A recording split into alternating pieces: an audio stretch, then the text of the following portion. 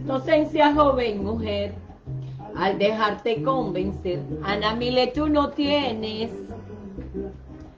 Ana Mile tú no tienes, tú no tienes la culpa que tu hijo esté llorando y su padre no cumpla. Fue tu inocencia joven mujer, al dejarte convencer, el consejo que tu madre te dio un día no supiste obedecer. Fue lo que podrá pues la risa te engañó, se robó tu corazón y que lo que tú y yo planificamos un futuro realizar, un sueño quedó al llegar aquel hombre a nuestro hogar.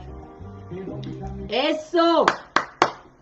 Tú no tienes la culpa, Ana Milé. Estas mujeres, estas mujeres no tienen la culpa.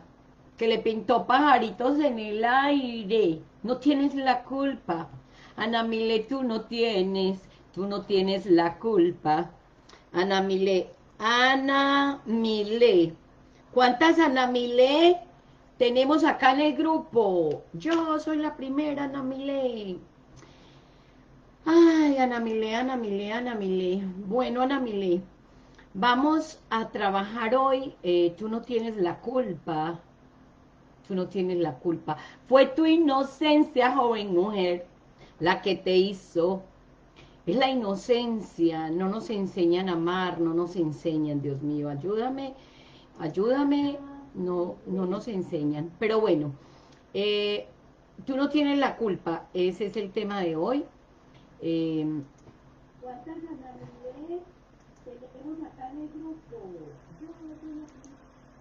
Ok, Ana Mile. Ana Mile, tú no tienes, mientras que, ¿saben qué? Quiero cantar esa canción, lo que pasa es que yo no sé si uno cantándola, eh, no me la dejan poner en YouTube, ¿cierto? A lo mejor, maybe, maybe, Voy a poner un poquitico aquí, bajito.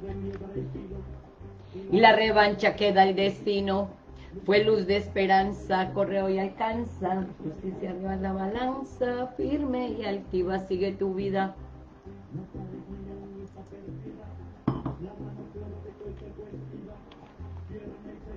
Preste y ríe, no llores, no llores mi niña, no llores, no llores más. No llores, no llores, no llores, no llores más, por favor. Por favor, no llores más. Yo soy cáncer y quiero saber del amor. Ay, tan linda mi Lili. Te pintó pajaritos en el aire. ¿Quién te pintó pajaritos en el aire? Y nunca más volvió. Te pintó pajaritos en el aire y nunca más volvió. es la, eso es lo que pasa. Eh, Lili Calderón, te pintó pajaritos en el aire. ¿Qué pasó con tu amor? Cuéntame. Hola, yo soy de cáncer y quiero saber del amor. Bueno, mujer hermosa, Vamos a aprender del amor, vamos a aprender porque realmente, de verdad, si nosotros nos ponemos a, mirar cómo nos educamos, cuál es la cultura, de dónde venimos, qué pasó con nosotras cuando estábamos jóvenes, cuando estábamos...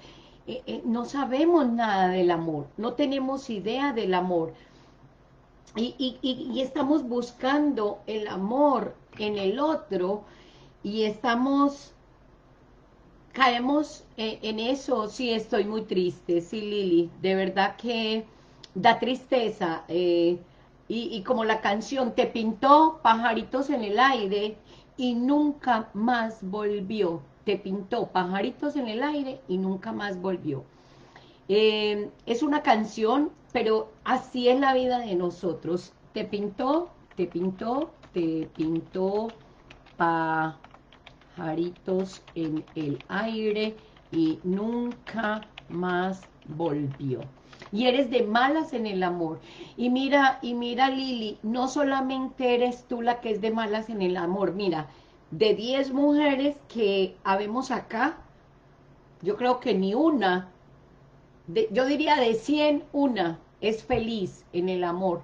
¿Por qué? Porque nosotros tenemos que aprender a amarnos y no sabemos amarnos. Entonces el hombre llega, nos pinta pajaritos en el aire y nosotros caemos rendidas ante ese hombre que nos pinta pajaritos en el aire, pero que está basado en el desamor. Entonces, hola Viviana, qué gusto que llegó Viviana. Viviana, llegó, llegó. Entonces, vamos a hablar Lili Calderón, soy muy de malas en el amor. Tú eres muy de malas en el amor. Eh, partamos de un principio. Eres de malas en el amor porque no sabes amarte. Primero, tú no sabes amarte porque tampoco te enseñaron, por lo tanto, tú no tienes la culpa. Tú no tienes la culpa como lo dice la canción.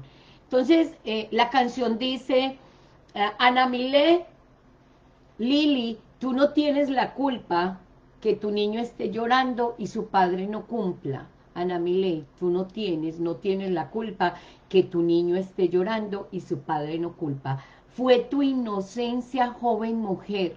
Mujeres, la inocencia de nosotras la inocencia, porque no nos enseñan, qué rico que cuando nosotros estuviéramos chiquitas nos hubieran enseñado el valor de amarnos, pero no nos enseñaron, entonces ahora somos víctimas del desamor, víctimas, y los hombres tampoco les enseñaron a amar, y entonces ellos creen que enamoran a la mujer pintándole pajaritos en el aire, y los dos nos juntamos inocentes y no sabemos que esa mujer que se vistió de princesa era una bruja y no sabemos que ese hombre que se vistió de príncipe era un sapo, era una rana, era eh, eh, horrible. Y caemos, y caemos, y me doy cuenta hoy que a pesar de que yo tengo 54 años de edad, estas niñas, Lili, ¿cuántos años tienes? Me gustaría saber, Lili, si me puedes... Hola, ¿cómo estás, Aten? Atnen, Atnen, Atnen Blanco, ¿cómo estás? Ok, entonces nos damos cuenta que tanto el hombre como la mujer no fuimos educados para el amor, no estamos educados para el amor. Y, vemos las canciones, imagínate, esa canción la canté yo hace, eh, desde 1985, tenía yo 20 años, o sea, 34 años más tarde, seguimos viviendo el desamor. ¿Qué hemos nosotros evolucionado? Pregunto yo. 36 años tienes, o sea, esa canción, cuando tú naciste, esa canción apenas estaba escuchando. O sea, tú eras una bebé cuando esa canción sonaba y hace 34 años esa canción la cantábamos nosotras que somos las mamás de esta generación. Y hace 34 años, nosotras, las mamás de estas muchachas, de esta generación, sufrimos el desamor. Entonces tú no tienes la culpa, Lili, de que, de que hoy estés triste, de que hoy estás llorando por un amor, porque eres muy de malas en el amor. Y tú eres de malas en el amor porque no te enseñaron a amarte, porque no te enseñaron lo que era el valor del amor, porque no sabes nada de eso. Pero precisamente, gracias a Dios, porque Dios es lo más hermoso, lo más divino, lo más precioso, que Él nos puede dar la forma de amarnos a nosotras a través de su amor y empezar a amar a Dios. Me gustaría preguntarte, Lili, 36 eh, años, estás muy joven, quiere decir que esa canción tiene 34 años, tú ni, mejor dicho, ni habías nacido cuando salió esa canción.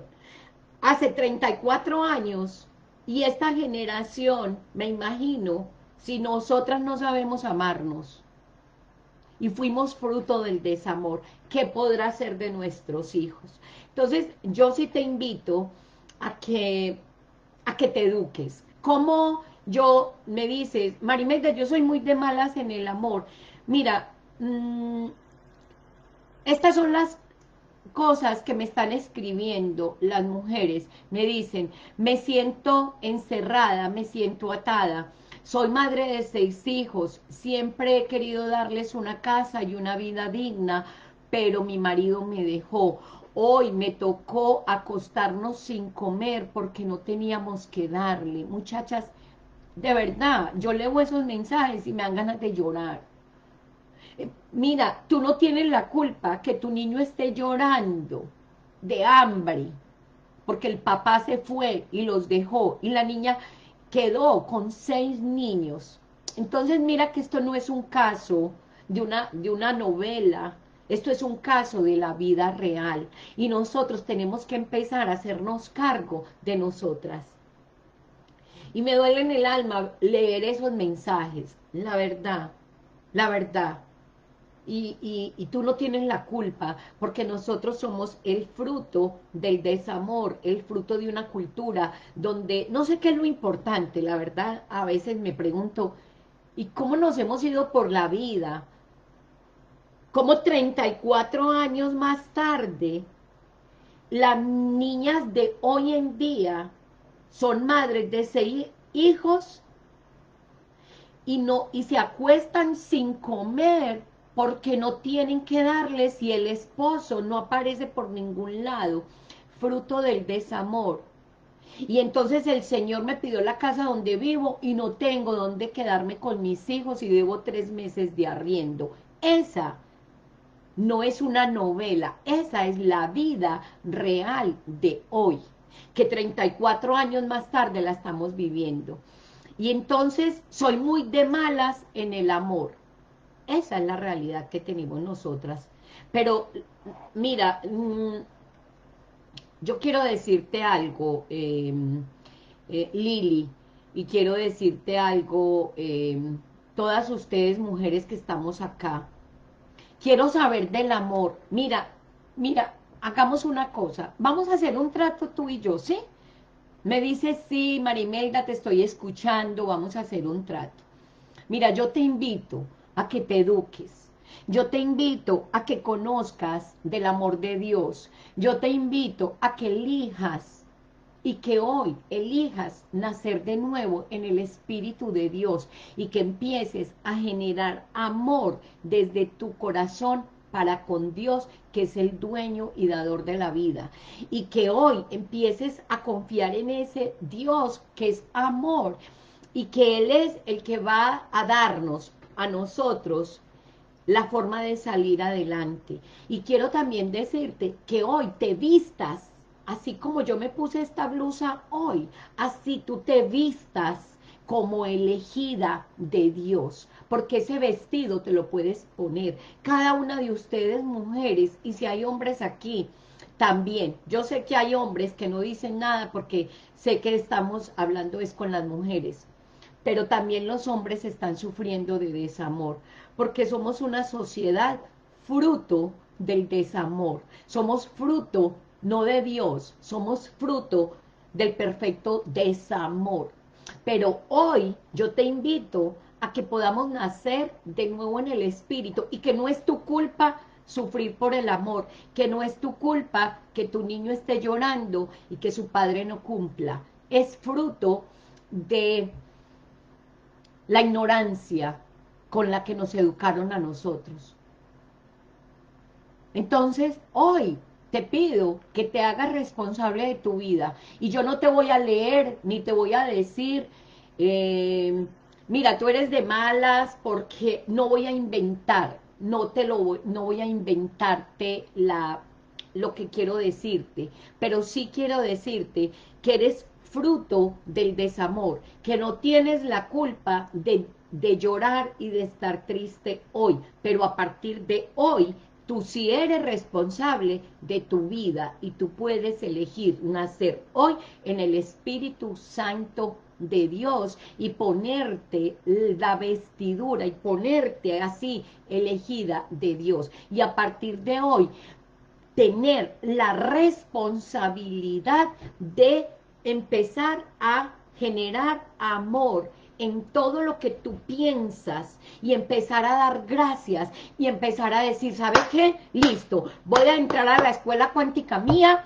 y me voy a poner a estudiar y voy a, traer un cuaderno y voy a empezar a escribir y voy a empezar a conocer cómo es el amor y cómo es la neurobiología del amor. Y voy a empezar a conocer la diferencia entre el amor del hombre y el amor de la mujer. Y nosotros biológicamente, neurocientíficamente está comprobado que nuestro cerebro es diferente. Y yo voy a empezar a ver las diferencias entre el hombre y la mujer y me voy a empezar a educar. Entonces, a partir de hoy,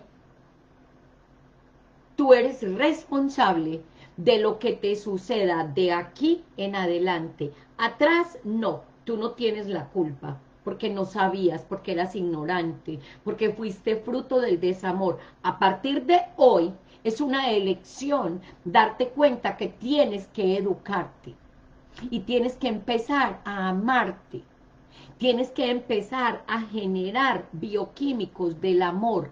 ¿Que ¿Cuáles son la bioquímica del amor? Por eso te invito a que te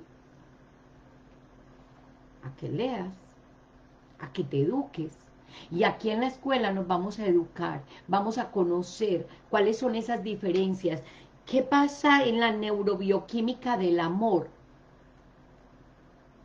Hola Juan, ¿cómo estás? Juan Espinosa Pachares. Entonces vamos a conocer qué, pasa en ese cerebro, qué pasa en ese cerebro cuando nosotros eh, nos enamoramos, cómo es que piensa el hombre, cómo piensa la mujer, y a partir de ahí vamos teniendo conciencia, ¿para qué? Para crear un nuevo futuro.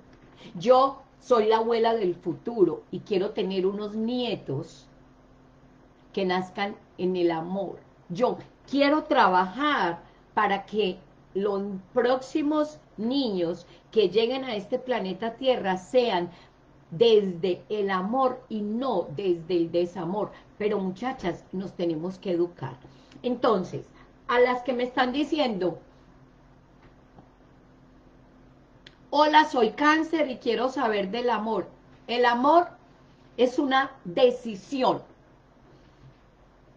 como yo no sé amarme, como yo no sé amar a Dios, entonces nadie puede amarme a mí.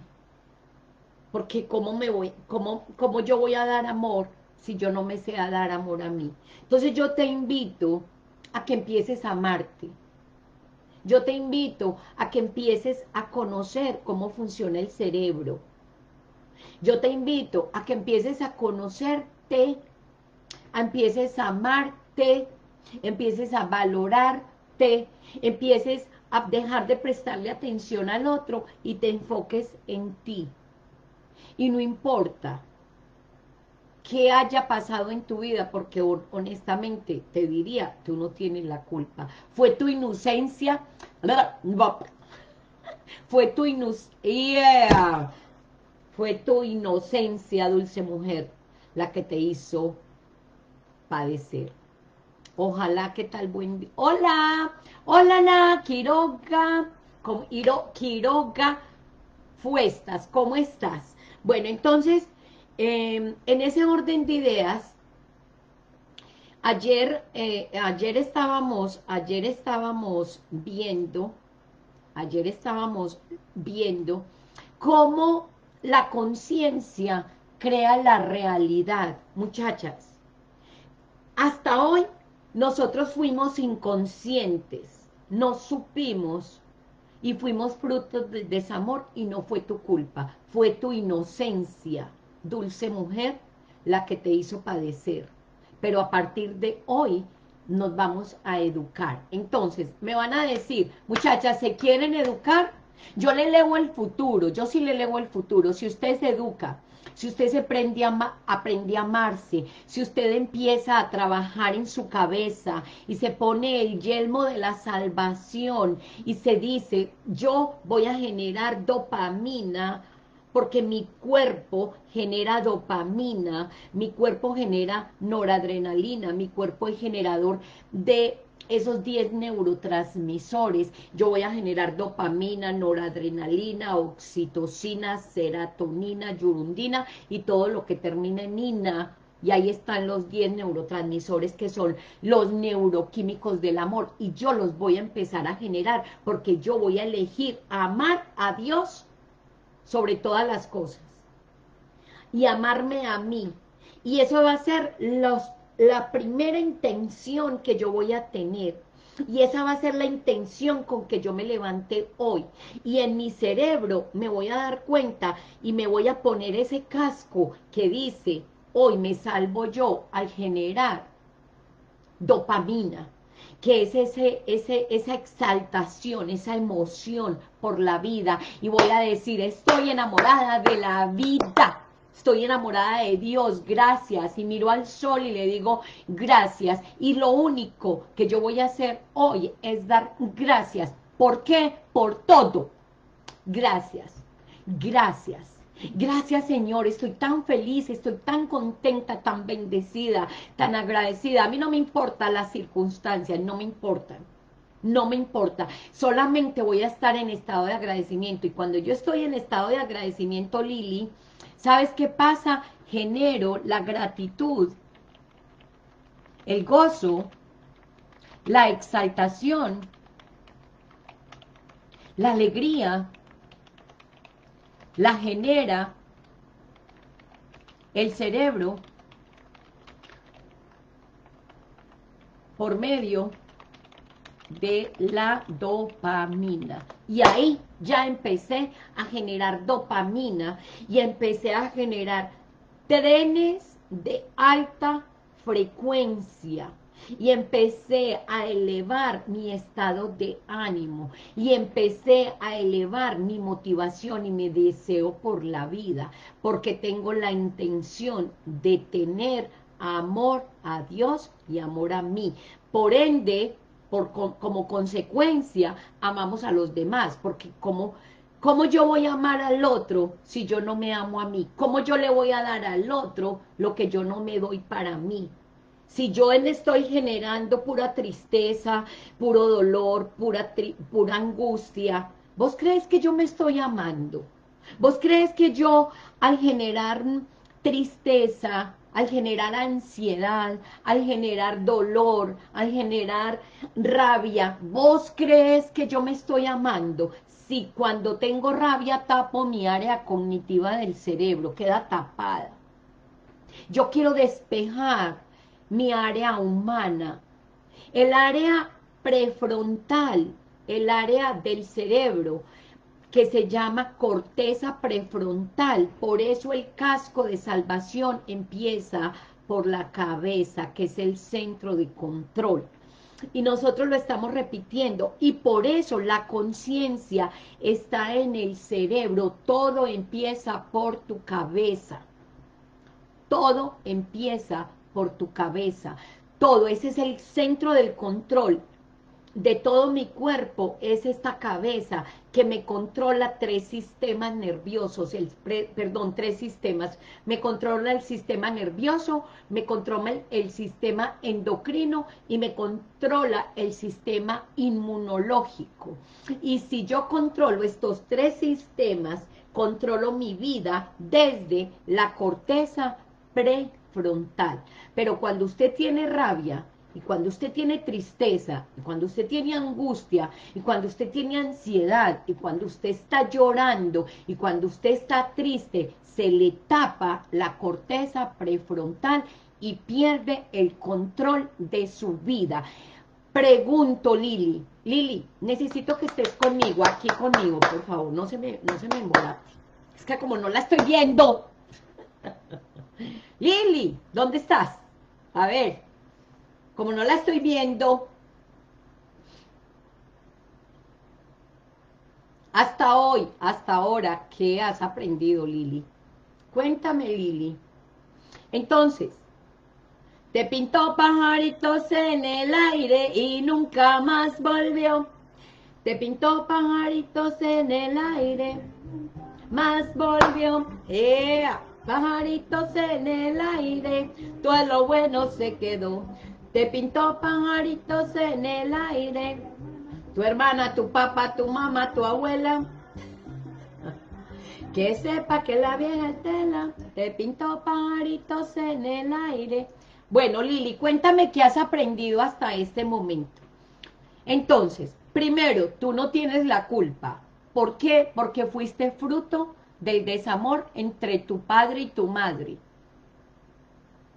Está bien, tú no tienes la culpa, te libero de todas las culpas, te perdono y te libero, te dejo libre y te dejo en paz, Lili, pero a partir de hoy eres responsable de lo que ocurre en tu, en tu futuro.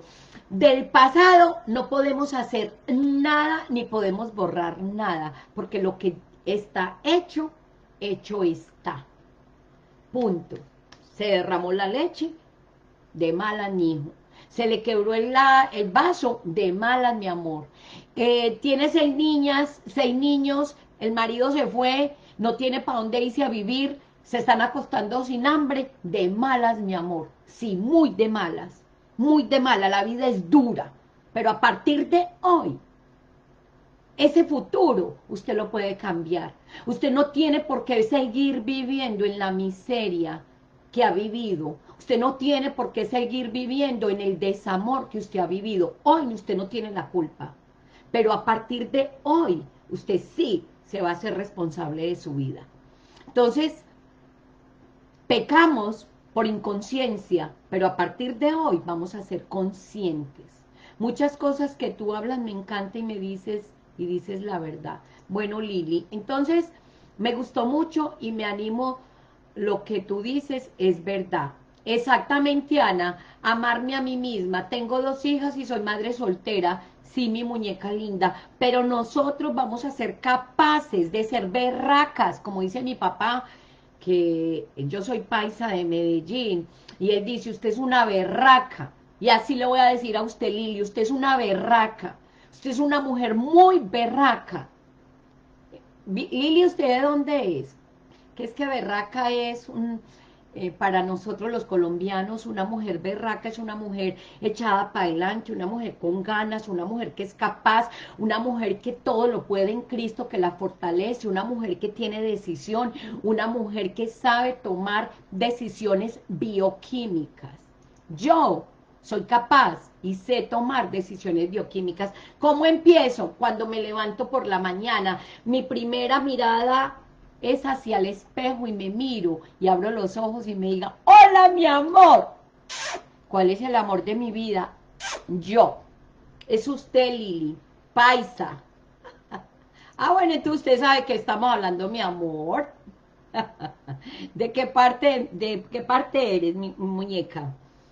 Paisa, paisa, eso, mija, para adelante es para adelante, para allá es para allá, de aquí para allá lo que sea, de aquí para atrás y para coger impulso.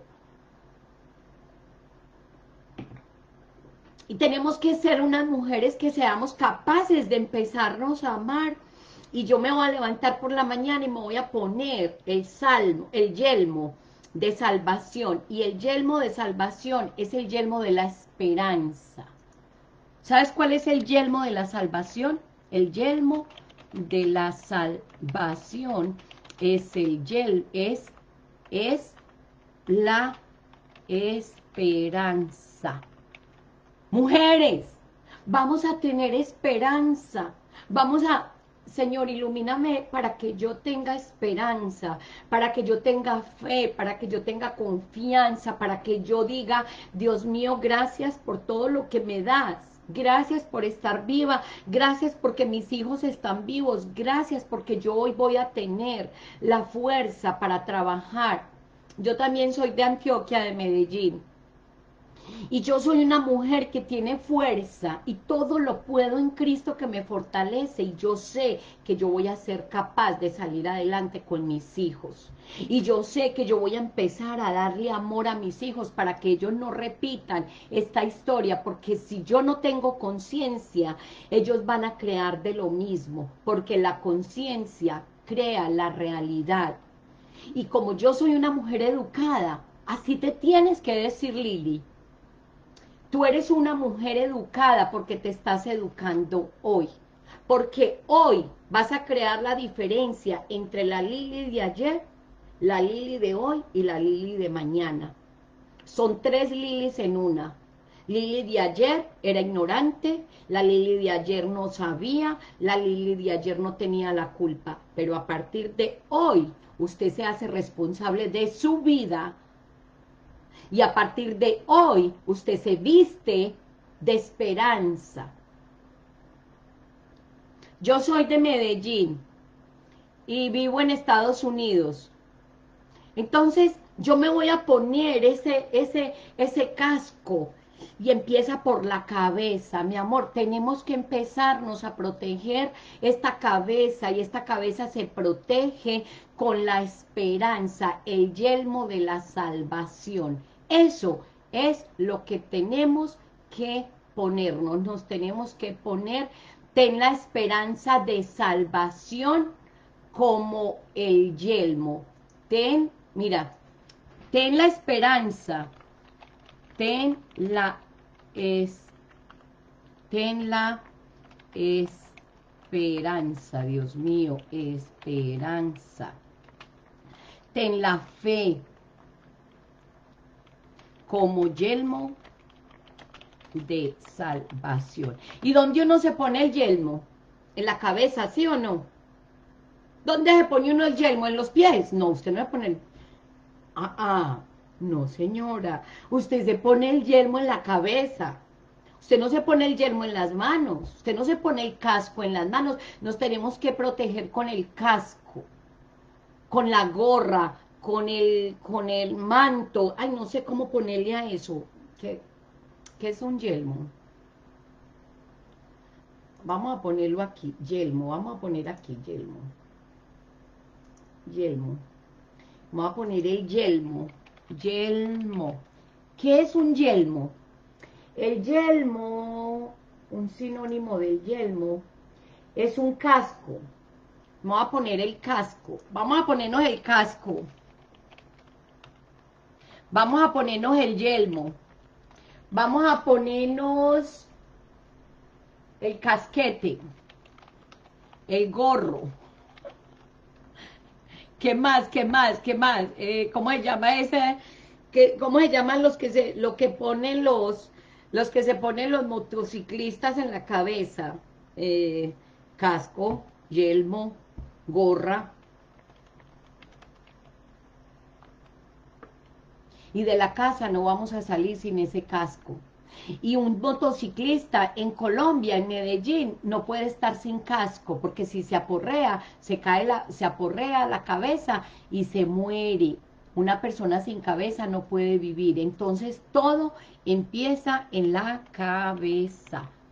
Todo comienza con la cabeza con el cerebro. El casco, exactamente. ¿Y cómo se llama el casco que usted se va a poner hoy, Lili? ¿Cómo se llama ese casco? ¿Cómo se llama ese casco? ¿Cómo se llama ese casco? Casco. Se llama la esperanza. Mami, mía, ay, mía, ¿cuál mía? ¿Cuál mía? ¿Y, y, qué es esperanza? ¿Qué, ¿Qué, es esperanza? Es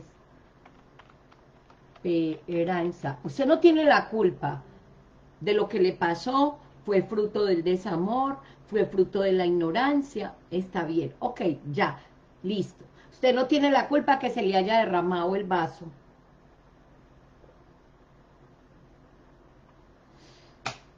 Pero a partir de hoy, usted sí, señorita, me va a trabajar en me va a trabajar, se llama esperanza, exactamente mi amor, se llama esperanza, vamos a tener esperanza, ¿y qué es esperanza, María Imelda? Mira, la esperanza es lo mismo que vamos a empezar, vamos a empezar mujeres, y si hay hombres aquí también a los hombres, lo que pasa es que yo estoy más dirigida a las mujeres, pero veo que hay más, hay hombres también, ¿por qué? No sé, o sea, ahí sí yo no sé, a lo mejor los hombres también sufren, a lo mejor también los hombres sufren y quieren entender a las mujeres, porque a lo mejor los hombres... ¿Usted cree que para un hombre no es difícil dejar a una mujer con seis hijos? ¿Usted cree que para un hombre no es difícil saber que sus hijos están aguantando hambre? No podemos poner tampoco a los hombres eh, eh, en, en desventaja. Entonces, ¿Qué es esperanza? Vamos a mirar, ¿qué es esperanza? A ver, ¿qué es esperanza? Entonces, vamos a mirar. Esperanza, hay una definición de esperanza, y esperanza es confianza en lo que ocurrirá. Vamos a ver. Esperanza es confianza en lo que ocurrirá. Es confianza en lo que ocurrirá.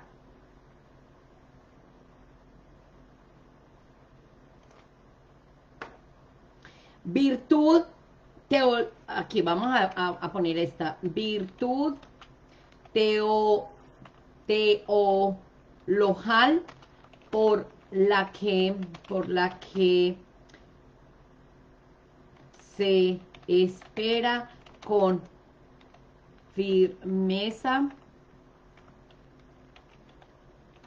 que Dios de los bienes que ha prometido.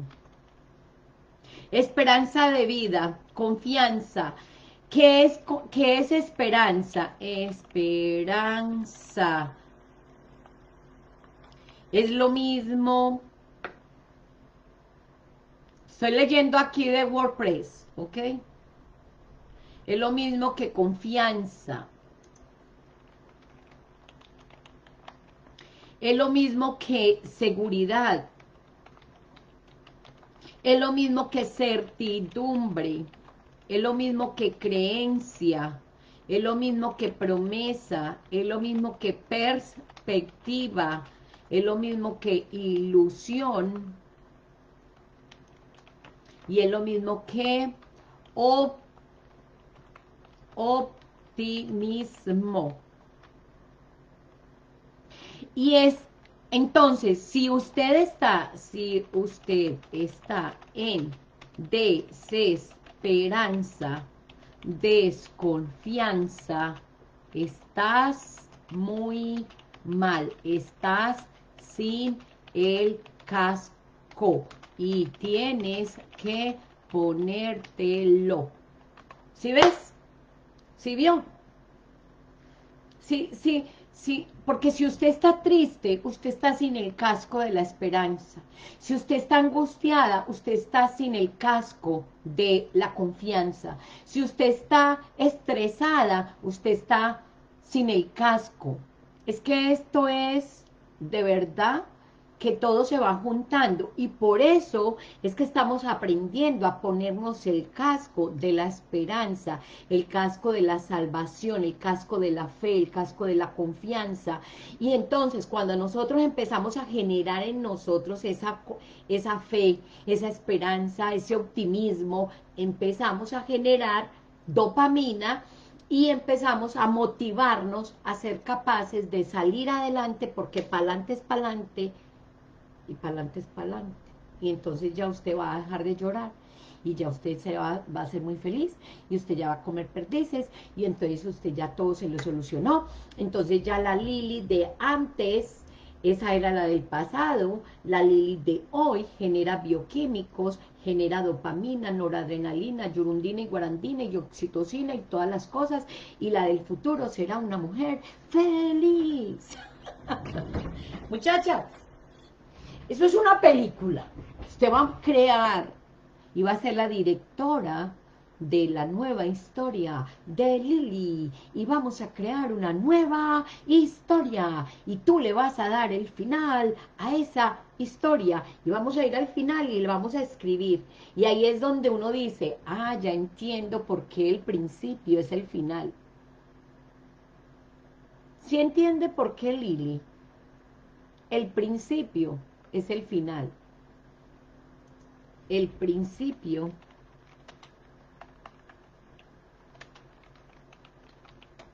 es el final. Y el final es el principio. Marimelda, explícame un poquito esto. Mira,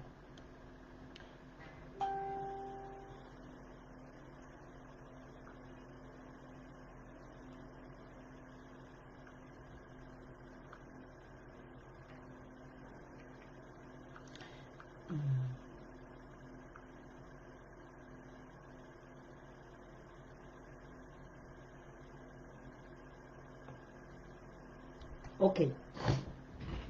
Mira, Lili, si vamos a, entender esto, hoy vas a empezar a ser responsable de tu vida, ya no me vas a preguntar más, un ejemplo, mm, porque yo soy de malas en el, en el amor. ¿Sabes por qué eres de malas en el amor? Porque eres fruto del desamor, porque a ti no te enseñaron a amar, ni a amarte, ni a, no sé si amas a Dios, pero si hoy sufrimos por desamor es porque no sabemos amar a Dios. Porque cuando sabemos amar a Dios, nosotras sabemos generar amor y por resonancia atraemos personas que nos aman.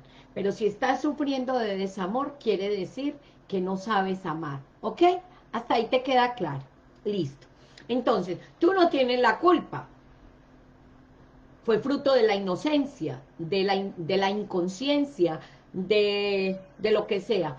Hoy me doy cuenta que voy a empezar a ser responsable de mi vida.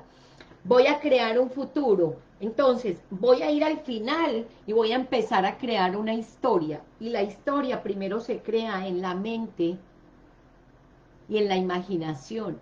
Y lo lindo, más hermoso de todo es que tú tienes imaginación. Entonces vas a empezar a, generar una historia de una mujer feliz. Y es como, al principio todo era caos y luego Dios dijo, vendrán cosas buenas y divinas y preciosas, más o menos así, una historia, donde Lili va a ser la protagonista y Lili va a ser la directora de esa nueva historia. Y al crear una historia en tu imaginación, ese es el final, y el principio sería hoy, y hoy voy a actuar para este final. Por eso es que el principio es el final, porque para que yo llegue a este final, hoy tengo que empezar a actuar de tal manera que al final sea un final feliz. Me gustaría saber si, si te quedó claro. Bueno, yo lo tengo claro, pero es llevo 50 años repitiéndome lo mismo, entonces obviamente lo tengo claro. Pero bueno, ahí vamos, ahí vamos paso por paso. Bueno, mujeres hermosas, las quiero mucho. Em, me gustaría que no sufran tanto.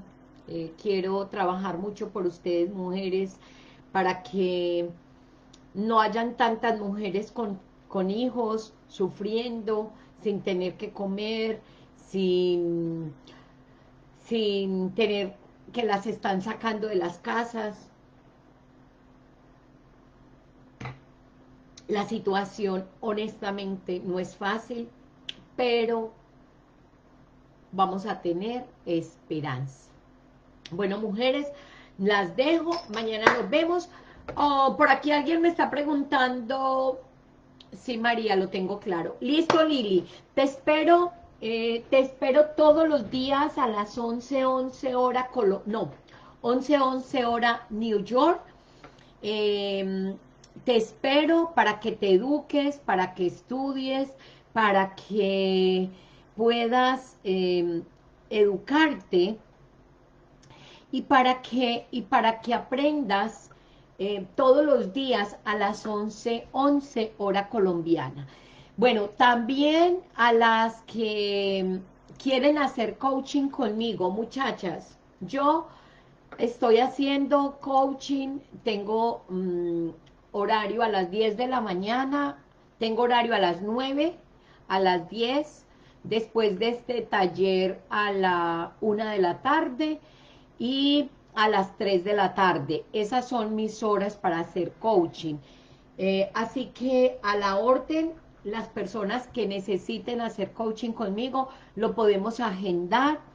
es por medio de una llamada por WhatsApp, eh, porque a veces es necesario, eh, digamos, porque ustedes de pronto no saben la raíz del problema, y lo que hacemos mediante el coaching es, a través de preguntas, nosotras vamos identificando cuál es la raíz del problema a través de una reprogramación cuántica. Entonces, obviamente si yo cobro, claro que cobro mi amor porque yo tengo que pagar la luz, el internet, yo trabajo, este es mi trabajo y hay que cobrar, pero la primera cita es gratis ¿Por qué? Porque tú no me conoces, porque tú no sabes cómo hago mi trabajo y yo tengo que, como decimos nosotros, darle la probadita. Yo quiero, listo Lili, después de este taller me puedes llamar por acá por WhatsApp. Mira, regístrate en la escuela y ese es mi WhatsApp. Aquí te lo coloco Lili. No sé si ya estás en la escuela, pero... dame un segundo, te voy a poner te doy el link para, para que me, me llames por WhatsApp y me dices, Marimelda, yo soy Lili, em, aquí, mira, te registras acá, este es mi WhatsApp, ahí está Lili, me te registras en la escuela, eh, en el WhatsApp le das clic a la escuela WhatsApp es escuela cuántica mía, en la escuela no pueden escribir porque eh, quiero que solamente yo entregue los mensajes, pero si me quieren escribir personal, me lo escriben por privado, que yo a todas les estoy contestando. No hay ni una sola que no quede sin contesta. Si de pronto no te contesto, es porque estoy ocupada, pero después yo reviso y te voy a contestar. Listo, entonces regístrate Lili en la escuela, eh, la formación es para mujeres que desean volver a soñar, es para mujeres que quieren controlar su vida y que y quieren parar de sufrir. Para esas mujeres es. Si usted quiere parar de sufrir, entonces entre a la escuela cuántica mía, para de sufrir. ya, esa es la canción, esa es la canción. Entonces, aprende, Lili, a encontrarle un propósito a tu vida. Aprende, vuelve a soñar, vuelve a creer en el amor, en el amor de Dios, en el amor a ti y en el amor al prójimo. Sí podemos amar, es una decisión. Sí podemos amar, muchachas. El amor es una decisión. De eso vamos a hablar eh, en esta próxima semana.